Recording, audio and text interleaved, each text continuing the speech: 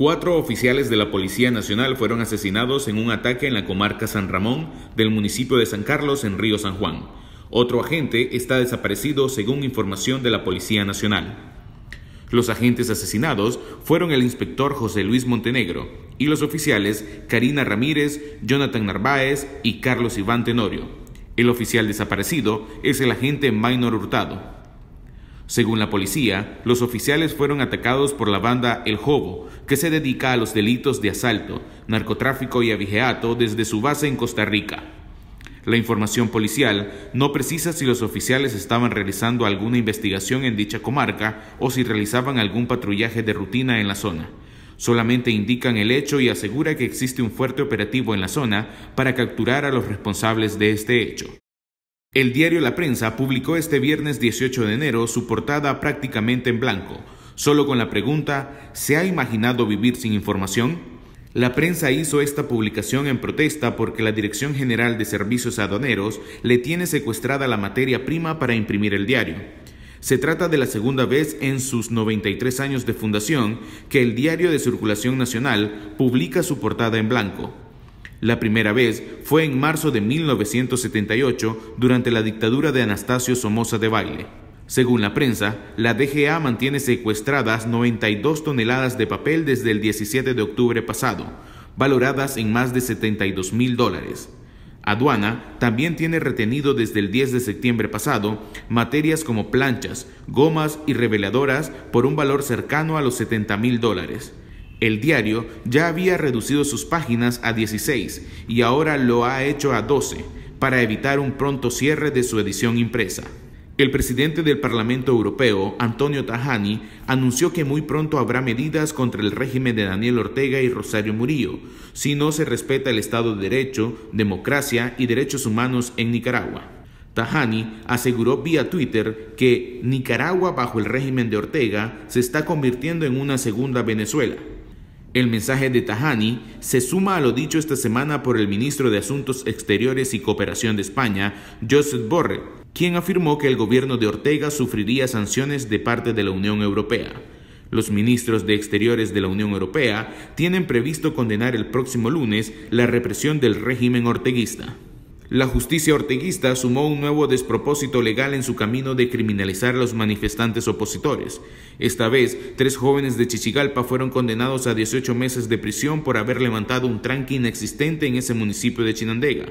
Los jóvenes Gerson Suazo, Claudia Campos y Cristian Meléndez fueron condenados por la jueza octava local penal de Managua, Roxana Martínez Rosales, que los halló culpable del delito de obstrucción de los servicios públicos. La fiscalía acusó a los jóvenes de haber levantado un tranque y bloquear la vía en Chichigalpa entre el 15 y 24 de mayo de 2018, pese a que en ese municipio no se construyó ninguna barricada durante las protestas cívicas.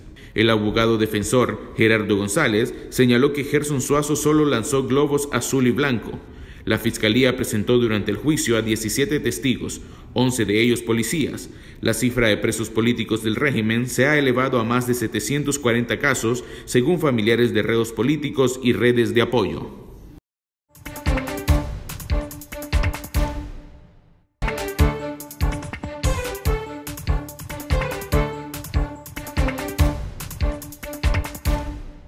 Pesa vivir, estar en este país día a día este, es demasiado complicado.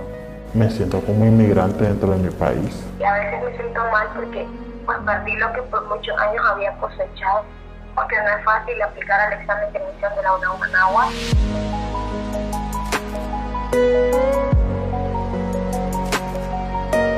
El 7 de mayo, unos 100 estudiantes se atrincheraron en Lunar Managua. Su principal objetivo era recuperar la autonomía secuestrada por la Unión Nacional de Estudiantes de Nicaragua. UNEN es el brazo partidario del gobierno dentro de las universidades públicas. Así fue como estos jóvenes pasaron de cargar libros a huir de las balas.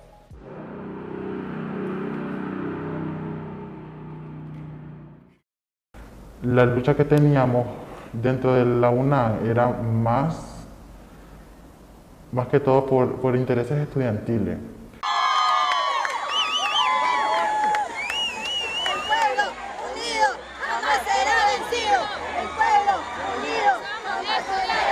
Y después tomando en cuenta las noticias que, que, corrían en, en, las redes sociales, en los medios, entonces los muchachos dijeron, nuestra lucha va a ser de ahora en adelante por la autonomía y por la libertad de Nicaragua, porque nosotros tenemos la lucha estudiantil, pero apoyamos la lucha del pueblo.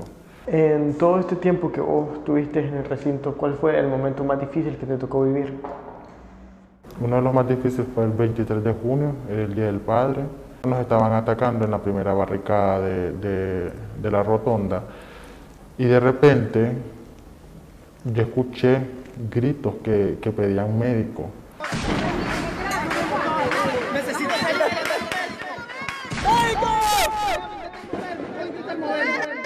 Lo único que hice fue correr. Correr y mientras corría decía que no me den, que no me den, que no me den, que no me den. Entonces mientras iba corriendo sentía el pavimento donde las balas pegaban y, salpicaban las piernas. Entonces me tiré y, traté de proteger su cabeza con, con mi cuerpo. Entonces cuando yo bajé la mirada y en mi bolsa había una luz y entonces era el celular del muchacho que se, alumbraba con su teléfono. Y cuando él se desmayó y lo monté a la camilla, yo, me lo, yo agarré su teléfono y lo metí en mi bolsa. Pero no le tomé importancia a la luz. Y como todo estaba oscuro, entonces la luz nos delataba. Yo iba corriendo con el muchacho en la camilla y los, pues, los paramilitares miraban por donde iba pasando yo. Entonces en ese momento, como a los 10 segundos, dejaron de dispararme. Y así, con una mano y los otros tres muchachos que me ayudaban, con una mano en la pierna mía, tapando la luz, y la otra mano en la camilla, fue que logramos sacar al muchacho y trasladarlo al hospital.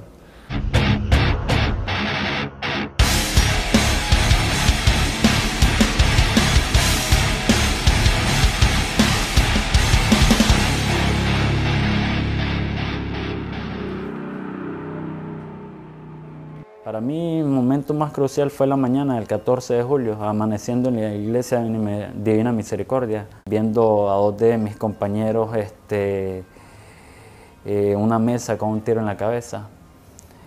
Porque después de todo, este, todos pagamos un precio, el que está a favor, el que está en contra y el que es indiferente es mucho más alto.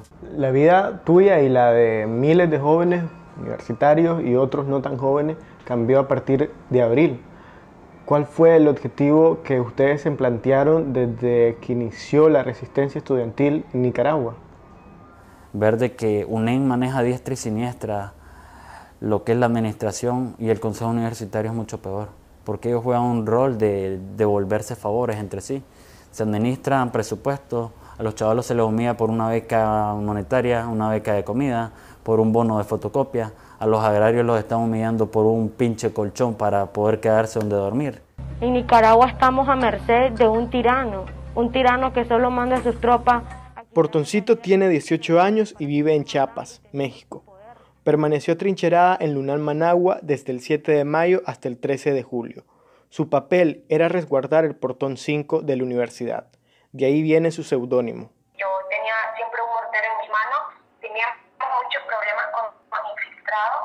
Y eso devaluaba nuestra lucha.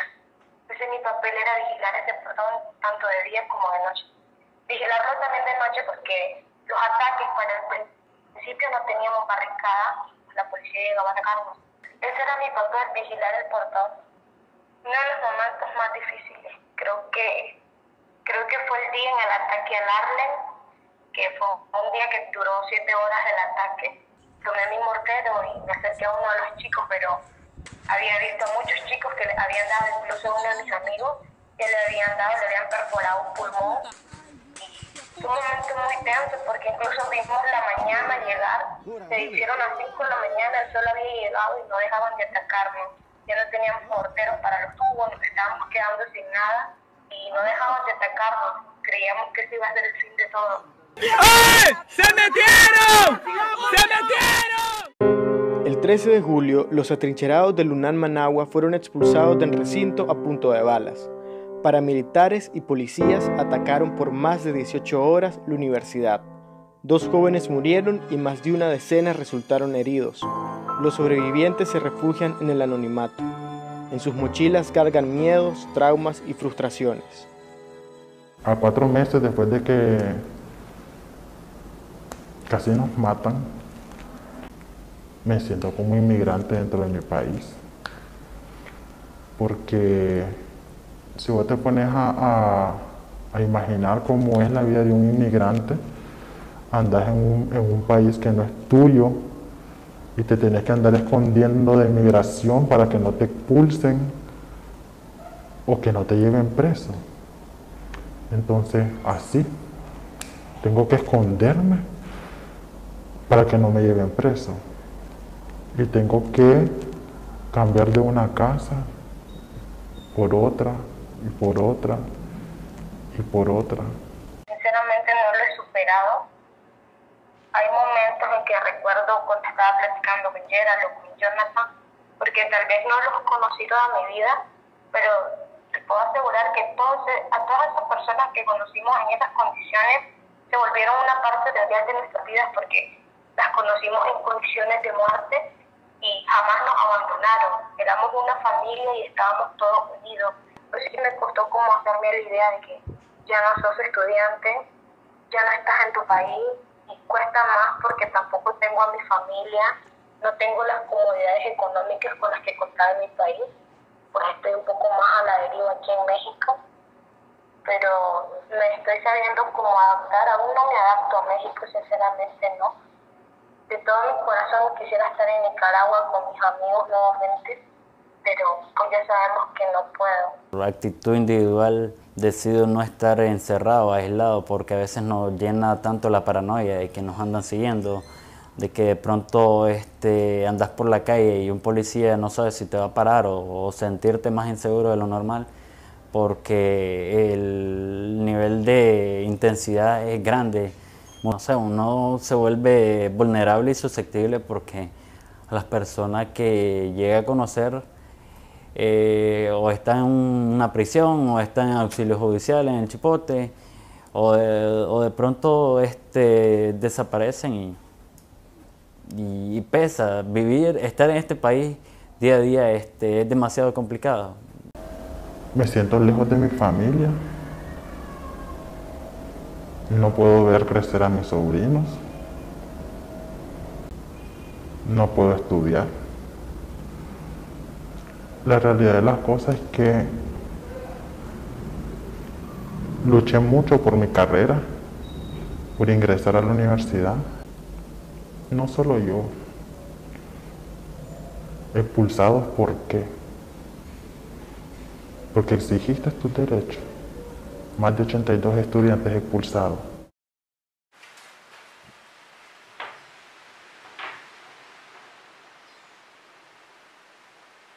Yo decidí regresar al recinto porque mi mamá pues quería que hiciera algo de mi vida. Ya ella mucho me decía como que tenés que regresar, tenés que buscar qué hacer, esto no va a cambiar ahorita. Este, todo esto es un proceso y bueno, a, eso le sumo de que nuestra presidenta de año, que de la UNAM, pues, ella nos comentó que estaba hablando con el director de nuestra carrera y él le dijo de que si nosotros no regresábamos a la universidad este año, nos iban a expulsar. Nuestro registro académico ya no iba a existir para el siguiente año. Fue un golpe moral. De hecho, me, me considero una persona de doble moral por poder estar ahí, por poder aguantar estar ahí, porque es que con solo entrar y pasar por ahí huele a servilismo. Este, yo tuve que pasar, entrar por el portón 2 y pasar por el puente y recuerdo que ahí compartí momentos con Gerald y ese día que yo entré honestamente no me pude resistir las lágrimas. ¿Qué sucede ahorita que la UNAM ha vuelto a las clases? ¿Qué está sucediendo ¿Cómo están eh, las dinámicas, los maestros, las autoridades? ¿Qué les dicen? Mira, siempre se habla de la campaña de normalidad, todo está normal, todo está bien. Este, aquí ustedes no van a ver que nadie los vigila, pero es mentira. Pero con solo el hecho de que te revisen la mochila siempre que vayas a entrar, te dice algo.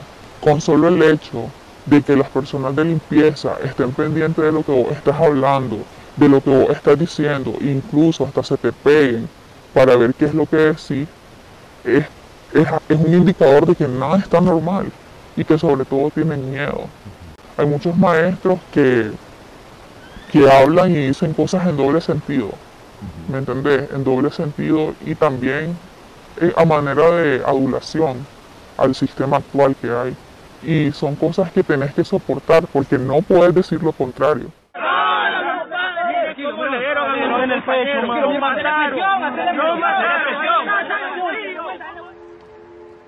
Tengo muchas pesadillas en la noche. Me despierto con, con los puños cerrados, el cuerpo rígido. Eh, sueño de que me están, que tengo a, a dos, tres policías que me están agarrando para llevarme. Y todos los días, todos los días logro dormirme a las 3 de la mañana y siempre me despierto en eso, por eso. Tengo episodios convulsivos. Me dicen que no tengo cuadro clínico o patología epiléptica, sino de que se le debe al estrés y a toda la interacción que hemos tenido. Cuando salí de la UNAM y vine aquí a México, las pesadillas eran súper seguidas. Cada noche tenía sueño.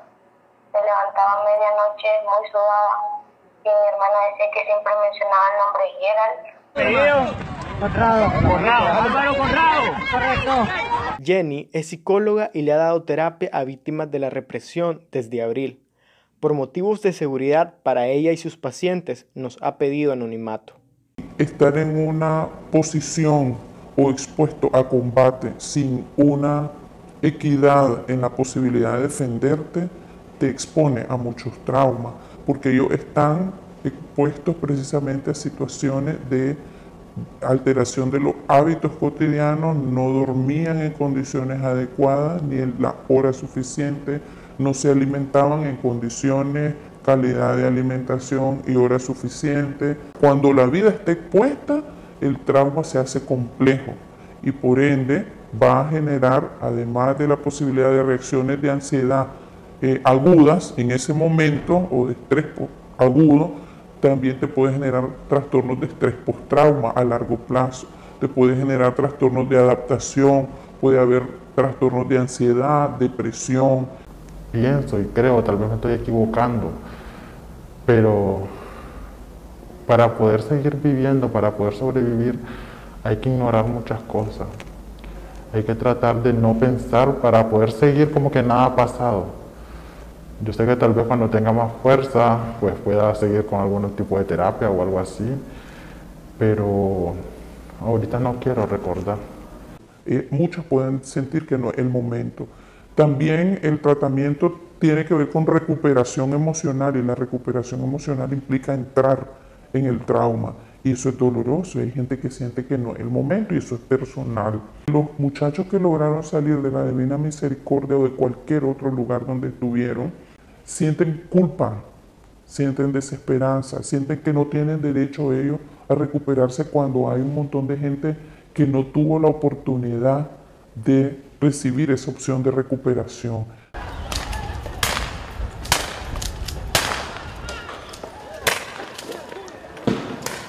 Nosotros estamos teñidos por una historia donde no se han trabajado los traumas, la, salud mental se ha descuidado por generaciones. Reconocer historias de dolor se ha descuidado y todo lo que no visibilizamos no tiene nombre, no existe.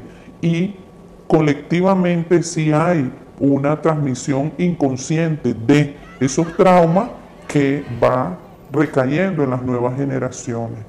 La represión no ha cesado y el futuro para estos estudiantes es incierto. Especialistas opinan que después de la crisis deben ejecutarse programas de reparación a las víctimas y construir una memoria histórica basada en la justicia y el no olvido.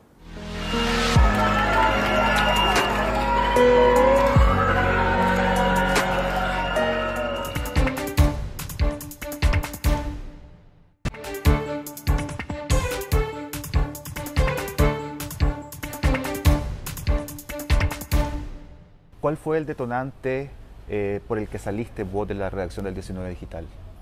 Bueno, como, como te explicaba, hay varios momentos, pero el principal, el momento que yo siento que dije, no, ya no aguanto. Y lloré, y lloré, lloré, y no me da pena decir que lloré. Fue lo que pasó el 16 de junio en el barrio Carlos Marx. El incendio en la casa en la que murieron estos dos menores. Los dos menores, la familia completa. Y esos dos niños, esos gritos, ese llanto de esos niños cuando estaban quemándose y la manipulación que empezó a hacer el gobierno sobre un hecho tan grotesco. Yo dije, me voy, me voy, me voy. En ese momento yo redacté mi carta de renuncia. Me vale. Si no me pagan mi liquidación, me tiene sin cuidado, pero yo no soporto esto. Ya había sido testigo de tantas cosas, la masacre del 30 de mayo. Había visto tanta gente morir, tantos niños, tantas cosas en las que yo no estaba de acuerdo. Si no estabas de acuerdo con esas cosas, ¿por qué eh, te costó tomar la decisión de poner tu renuncia? Mira, yo no quería tener problemas del todo, del todo con mis compañeros, peor con el frente, peor con el frente. Vos sabés lo que significa que después te digan traidores en una situación como esta, que te digan traidores en una situación como esta. Yo sé a lo que me exponía. Vi la reacción que hubo de mis mismos compañeros de trabajo cuando renunciaron otros colegas. Yo no quería haberme expuesto a eso. Y, y, pero en mí se, se iba acumulando todo eso. Se iba acumulando remordimiento. Yo no he disparado. Yo, mientras yo fui editor, mientras yo fui periodista, nunca hice este, cosas que se me pueda reprochar. Inclusive suavicé muchas, muchos ataques. Pero eso se me iba acumulando, se me iba acumulando hasta que dije me voy, no aguanto. ¿Cómo se discutió a lo interno de la redacción la cobertura periodística de esta crisis? No, eso no se discute. Nunca se, se, se había discutido anteriormente ese tipo de, de cosas y tampoco en esta ocasión sucedió porque hay directrices que vienen desde arriba. Los medios del Frente Sandinista, los medios oficiales son bastante jerárquicos. Cuando decís de arriba, ¿quién da las órdenes? ¿Rosario Murillo? La compañera, Rosario Murillo.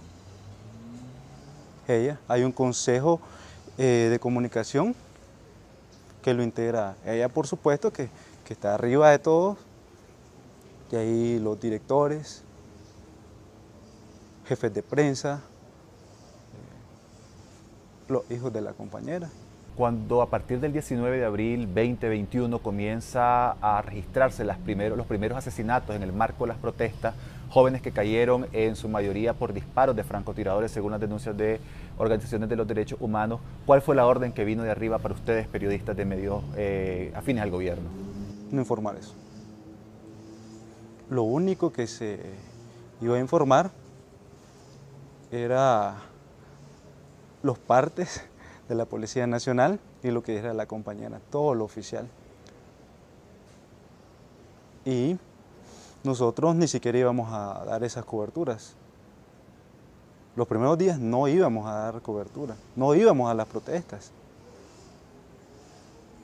Había, estaba la red de comunicadores, que era los que pasaban fotos, los que pasaban videos, pero los periodistas no andábamos ahí. Posteriormente sí, ya a partir del 20, 20, este, ahí sí salimos a las calles.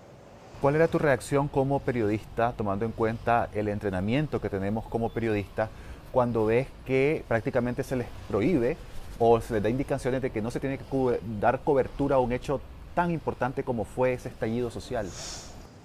Para mí fue un golpe tremendo porque si bien había sido una política de los medios oficiales omitir, pero en este caso empecé a ver que había muchas mentiras. No solamente se omitía, muchas mentiras. ¿Mentiras de qué tipo?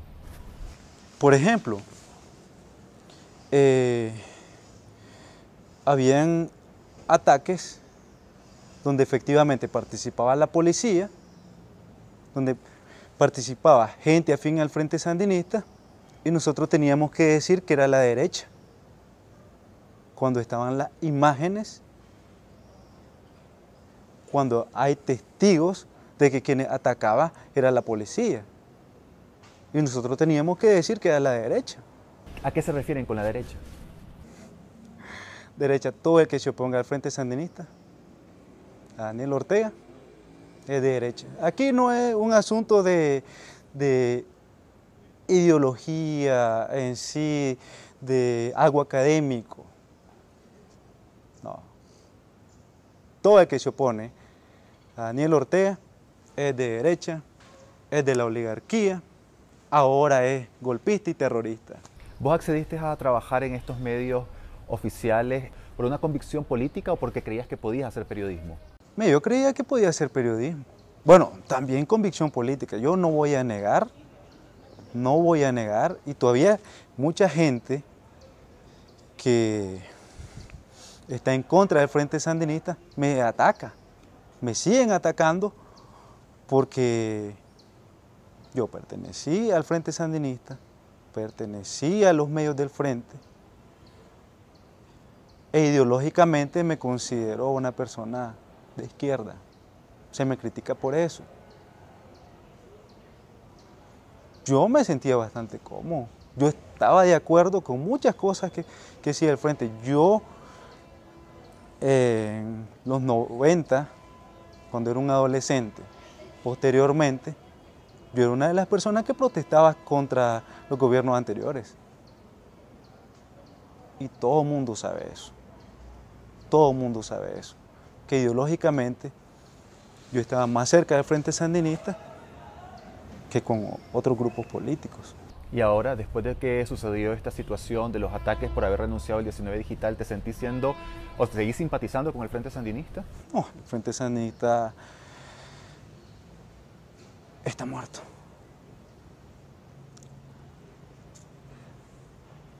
Lo terminaron de matar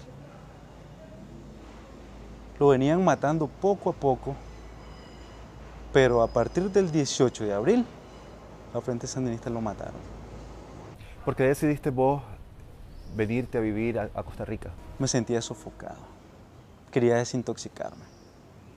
Vivir en Nicaragua es espantoso, sobre todo para alguien como yo que, que trabajó para el Frente Sandinista. Creo que mucha gente que trabajó en, en los medios del Frente Sandinista eso hizo. Se fue. Se fue, se fue. No querían estar ahí. Yo me sentía sofocado. ¿Te gustaría retornar al periodismo? Sí, sí, sí. A mí me gusta el periodismo. Yo escribo desde que soy niño. Desde que soy niño escribo. Es mi vida. Y, yo dije que voy a retornar al periodismo. Es más, yo hago periodismo. Yo empecé un blog y, a eso me dedico ahorita, me pongo a escribir, a trabajar. No me he desconectado en nada, en absoluto de lo que pasa en Nicaragua.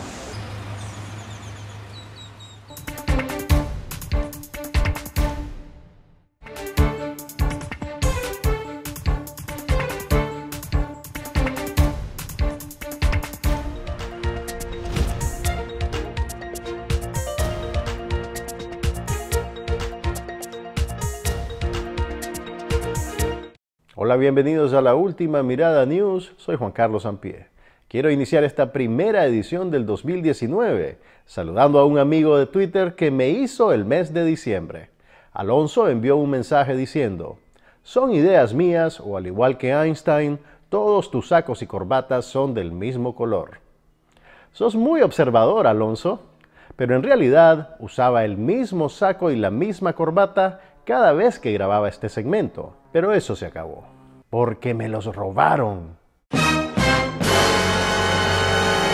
Me robaron la madrugada del 13 de diciembre, cuando una turba policial allanó ilegalmente las oficinas de Confidencial y esta semana. Y no solo se llevaron mi saco, también se llevaron computadoras, monitores, discos duros externos, editoras de video, papeles de contabilidad, pocillos de café, un muñequito de Minion y muchas cosas más. Y no contentos con eso, al día siguiente se robaron el edificio entero. Lo único que me consuela de todo esto es que en esta Navidad un paramilitar tuvo su estreno de Nochebuena. Rosario Murillo anunció el inicio de una jornada de bendición en lugares donde hubo conflictividad, haciendo alusión a los puntos de protesta y represión en todo el país. Solo en Managua reportó 224 puntos, donde se ejecutarán actividades de unción y bendición. La compañera quería sumarle algo extra al refrán que dice mata y va a la vela. Ahora el refrán dirá mata, va a la vela y unge con aceite la escena del crimen. La Universidad Centroamericana sufrió un recorte presupuestario de más de 67 millones de córdobas. El gobierno aclaró que el dinero será invertido en enseñarle a Luis Andino, el dirigente de UNEN, cómo funcionan los números y las palabras. Porque después de una década en la UNAM, aún no tiene la menor idea. Yo quiero mostrarle aquí y que se vuelvan los programas de beca porque es una total falacia lo que han venido diciendo, eh, mentira, como decirlo, que los estudiantes son becados. Sin embargo, un documento mostrado por su persona demuestra lo contrario. Que de, las de los becados completos, porque hablan de beca, programa de becas, becas parciales, beca arancel, dicen. Beca completo, 3.383. Beca parcial, 1.367. Otros becados parciales, dice, según CNU, que no entiendo ese término, 3.668. Entonces, beca, me estás hablando de que hay estudiantes, me estás hablando... o sea, esas becas están siendo financiadas por el 6%. ¿Y qué pasaría con esos estudiantes? No, nunca hemos dicho que vamos a quitar el 6%. Solicitar eliminar de la asignación presupuestaria a la Universidad Centroamericana UCA. No, no, no, no, no, estamos, es que no me estoy contradiciendo en nada. Lo que pasa es que retirar el 6%, deje de entregarle el 6% a las autoridades de la UCA. Un gimnasio de Managua envió un mensaje a sus clientes para persuadirlos de no temer a los policías y paramilitares apostados en la cercanía del local. El correo electrónico dice, no se preocupen por la presencia de la policía. Más bien, sintámonos seguros porque nos resguardan nuestra casa ilusiones ante cualquier presencia de los dueños de lo ajeno. Odio destruir tus ilusiones, pero la última vez que estuve en tu vecindario, unos policías me robaron mi saco. Siguiendo esta mentalidad normalizadora, ¿Qué hacían las decenas de antimotines que rodearon la librería Hispamer, donde se realizaría la entrega del Premio Nacional de Periodismo Pedro Joaquín Chamorro? ¿Será que estaban ahí para que nadie se robara el premio? Estamos anunciando la presentación el lunes 21 en horario de 8 de la noche. Inicia la presentación de otra telenovela muy exitosa, El Nuevo Mundo, que llega desde Taiwán a las 8 de la noche, decíamos en el Canal C. Taiwán aplica la diplomacia de las telenovelas, donando los derechos de transmisión del programa El Nuevo Mundo, para que no solo los conozcan por financiar dictaduras. ¡No cuestiones mi ética! El Nuevo Mundo. Para finalizar, la repartición anual de regalos del gobierno a sus adeptos alcanzó el punto culminante en el estreno de la zarzuela Luisa Fernanda, donde Laureano Ortega interpretó el papel principal. Un logro más para Nicaragua, pues, posicionándose como el, centro de, de la región en el desarrollo cultural de la música lírica. ¡Qué buen regalo para Laureano! Los empleados públicos y miembros del partido que asistieron a la presentación agradecieron el fondo musical pero se quedaron esperando la zarzuela de mariscos que creían les había preparado una señora llamada Luisa Fernanda.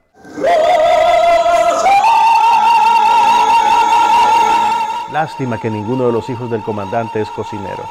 Buenas noches.